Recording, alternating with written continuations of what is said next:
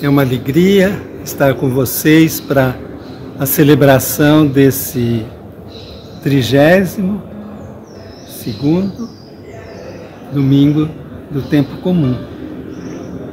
Estamos no Evangelho de Mateus, agora no capítulo 25, de 1 a 13, e Mateus volta a falar de uma festa de casamento. Agora, de um jeito um pouco estranho, né? Porque é de noite. E ele fala que para essa festa de casamento tinha dez jovens, dez moças, né?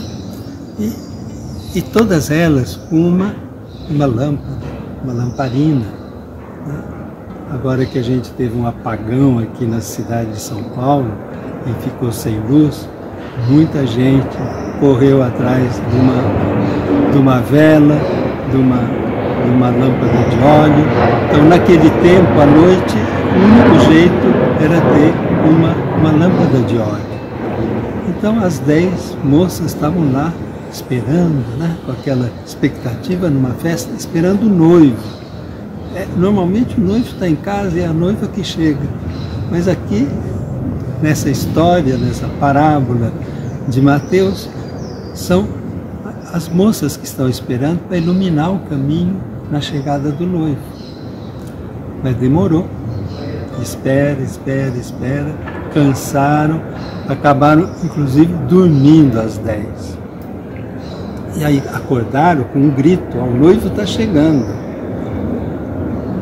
E aí, cinco delas que não eram muito prudentes viram-se para as outras e o nosso óleo está acabando. Não pode emprestar um pouco? E as outras que tinham vindo com a lâmpada, com a lâmpada, mas tinham trazido uma vasilha de óleo, falaram, não, não dá. Se a gente for dar para vocês, é capaz de não dar nem para nós, nem para vocês. Vai lá comprar. E nisso o noivo chegou, e elas acompanharam, a porta fechou, e mais tarde chegam as outras, não puderam entrar, não puderam entrar, porque a porta estava fechada. E a conclusão da parábola é: vigiai, estai atentos, porque vocês não sabem o dia e a hora. Muitas vezes Jesus fala dessa prudência, dessa vigilância. Ah, vai construir uma casa? Não constrói em cima da areia, constrói em cima da rocha, porque senão vem e leva.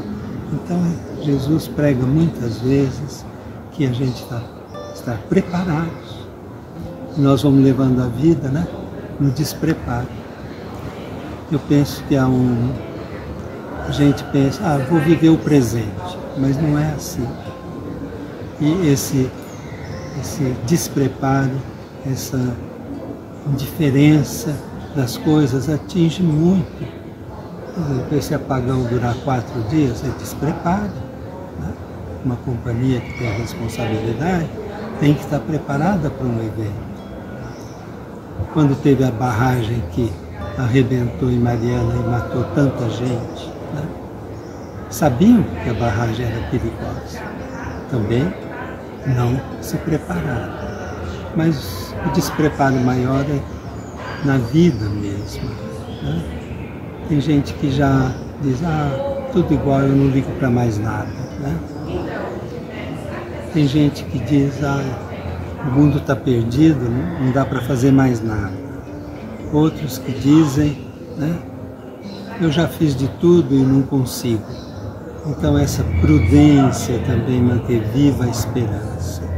A esperança nos faz acreditar, caminhar para frente, consertar o mundo, sobretudo sabendo que Deus nos acompanha e Ele nos espera para essa festa do banquete para entrar e festejar com o noivo. Louvado seja nosso Senhor Jesus Cristo, para sempre seja louvado.